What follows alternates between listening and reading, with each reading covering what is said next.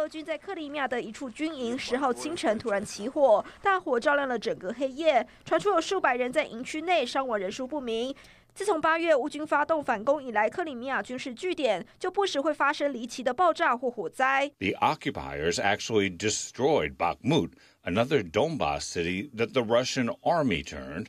Into burnt ruins。而在乌东的顿巴斯，战火激烈，整个城市已经被炸到体无完肤，多处断水断电，有九成居民已经离开家园。北约秘书长更忧心俄乌战争可能失控，演变成俄国和北约之间的欧洲大战。美国国防部长也指出，俄罗斯正在扩充核武库，并推动核武现代化。普京则再次暗示可能改变不先在冲突中使用核武的军事方针，转而改采美国的先发制人军事打击策略。此外，白俄总统卢卡申科最近参加。加普丁亲自出席的会议，不是坐车抵达，竟是步行走到会场。原来是因为他的兵士坐车突然抛锚，让他只能狼狈抵达，气喘吁吁的和吉尔吉斯总统握手拍照。记者综合报道。经常这晚上啦睡不着觉啦，您很想要睡的时候身心放松啦，就会很需要这一瓶哦茶氨酸来调节情绪，同时还可以增强您的抗压能力。